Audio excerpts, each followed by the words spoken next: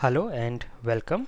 I'm Raghav and today we are going to learn how protractor works and I'm going to go very basic step by step. So if you are completely new to protractor, do not worry. I will explain you all the things and to make things very easy, let us divide the entire working of protractor into three sections. So we have a test section, we have server section and browser section.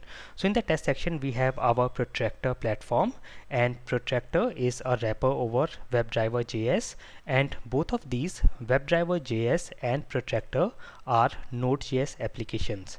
So here WebDriver JS as we have already seen in the earlier sessions is a JavaScript binding for the Selenium WebDriver API and protractor is a wrapper over WebDriver JS so it can use all the functions and features of WebDriver JS and also has some additional features to handle angular elements and actions and both of these are Node.js applications and Node.js as we have seen in the earlier session is an open source platform to build and run server-side applications.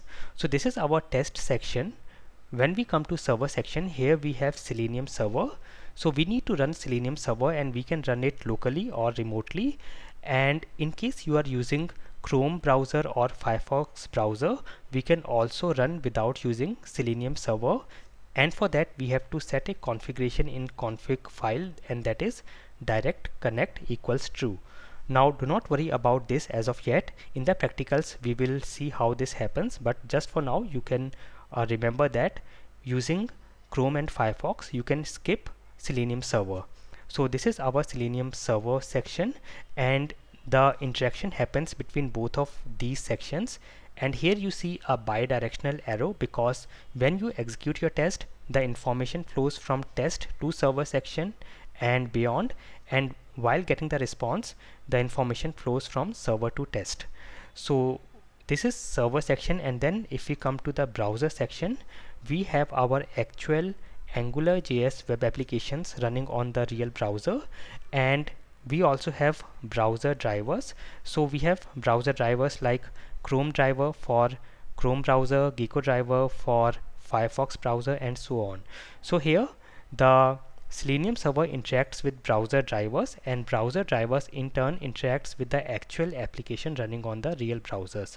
So this at a very high level is the structure or flow of protractor. Now here there are three main things that happen. The first thing is when you run your test the test scripts send commands to the Selenium server.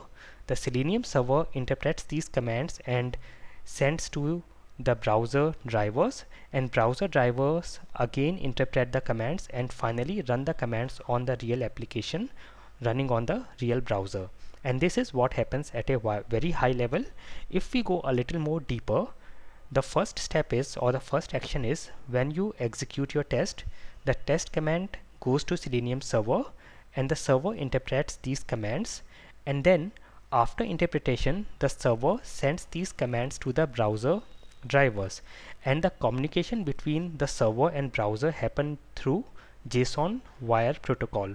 Now do not worry as of yet what is JSON wire protocol. If you need to get some more information uh, you can go on my website uh, which is automationstepbystep.com and when you go to online courses uh, you will find a section here. So let me go to the about section and you should find a section for school of basics here. So if I go here and yes you should be able to see here here we have a section for school of basics. And if you click here it will take you to the playlist for school of basics. And here you should be able to find a video on how selenium works. And yes you can see here is a video on the how selenium works and selenium architecture. I have explained on json wire protocol here so you can watch this. So this is what happens as the second step.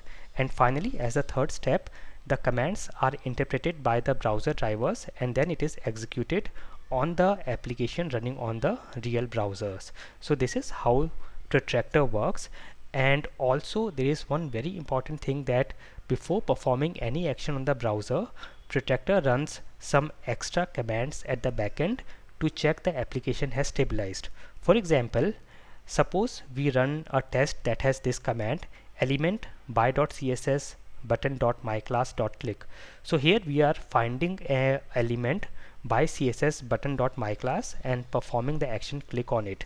So at the backend protractor will send three more commands and these are the three commands that protractor will send to the browser driver.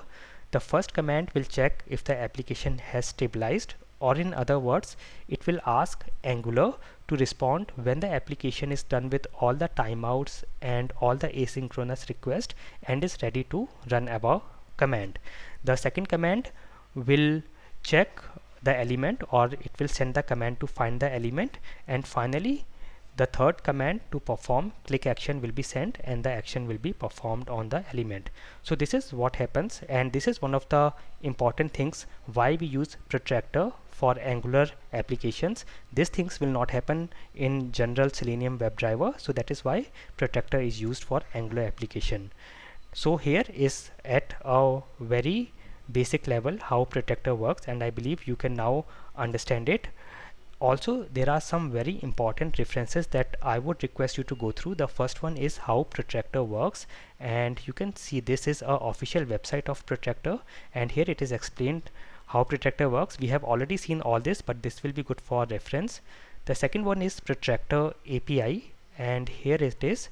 So here you can find all the methods and functions in protractor API and you can see all their details. This will be very handy for protractor and then we have selenium server setup. So this is the link for selenium server setup. And here also you will get some very useful information. You can also see the high level flow that we have already discussed here. And you can see how you can set up selenium server locally and remotely. And then we have a link for browser support. Here you can see all the browser that are supported by protractor. And in case there are any known issues you can also see the link for all the known issues this will also be very useful. And the browser setup link here you can see how you can set up browser. Of course we will see all this in practicals in detail but this will be good for reference. And I hope now you know exactly how protractor works and you know the design and architecture of protractor. Do share your knowledge with others. And if you have any questions or any doubts you can find a comment section below this video and you can send me your messages and I will respond to it. And I hope this all was very useful and have a good day